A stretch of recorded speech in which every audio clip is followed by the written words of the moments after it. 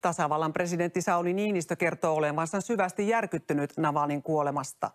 Niinistö kommentoi asiaa viestipalvelu Xssä. Hän kirjoittaa, että Venäjä kantaa vastuun. Niinistö myös esittää osanottonsa Navalin perheelle ja ystäville. Uutinen Navalnin kuolemasta tavoitti tulevan presidentin Alexander Stubin Münchenin turvallisuuskonferenssissa. Stub kirjoitti niin ikään viestipalvelu X, että Navalny menetti henkensä puolustaessaan vapautta ja demokratiaa Venäjällä. Pääministeri Petteri Orpo kommentoi Navalnin kuolemaa vierailullaan Puolassa. Jos tämä tieto pitää paikkansa, niin kyllä se on, se on shokki ja järkytys.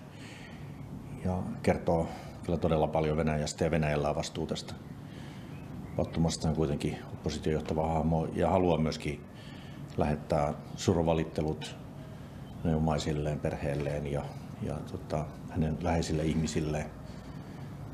kyllä tämä vaan, nä, nä, jos tämä pitää paikkansa, niin kertoo siitä, että kuinka, mihin kaikkea Venäjän johto on valmis.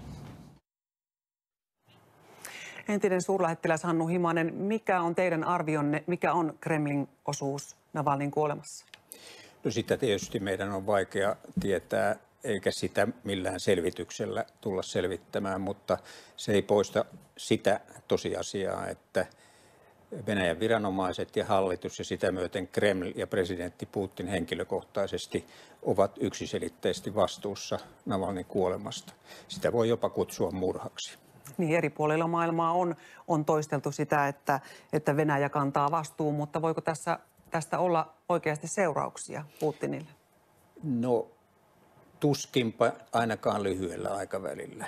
Venäjä on nyt viime vuosina osoittanut sen, että se ei välitä kansainvälisestä mielipiteestä, se ei välitä kansainvälisistä sopimuksista, kansainvälisen oikeuden määräyksistä ja näin ollen ei ole odotettavissa, että se tässä tapauksessa mitenkään avautuisi. Tietenkin me voimme varmasti tulemme näkemään tällaisen viranomaisten selvityksen, mutta se, mitä Moskovasta kuullaan näinä aikoina, niin siihenhän emme lännessä yksinkertaisesti voi luottaa. Hmm. Niin viranomaiset ovat sanoneet selvittävänsä Navalin kuolin syytä, mutta saadaanko sitä oikeasti koskaan selville? Tuskinpa. Mikä, miksi näin? No eh, tietenkin siis nythän tässä on kaksi isoa kysymystä, eh, kun pohditaan sitä, että miten ja miksi Navalni kuoli. Miksi se ylipäätänsä tapahtui ja miksi se tapahtui juuri nyt. Ja kumpaankaan vas- kysymykseen ei ole ihan yksiselitteistä vastausta, mutta tämähän oli selvästi tuottamuksellinen toimi siinä mielessä, että Navalnin kunnon heikkeneminen oli nähtävissä uutiskuvista hyvin selvästi ja tiedettiin, että hänellä oli akuutteja terveydellisiä ongelmia, joihin hän tarvitsi apua eikä aina sitä saanut.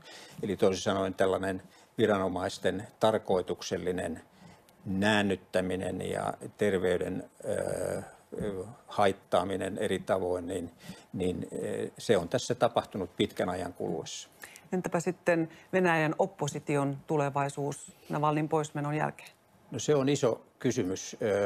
Itse en usko valitettavasti siihen, että tämä johtaisi esimerkiksi Venäjän sisällä mihinkään merkittäviin mielenilmauksiin, koska viranomaiset pitävät huolen siitä, että mitään kansannousua ei pääse tapahtumaan.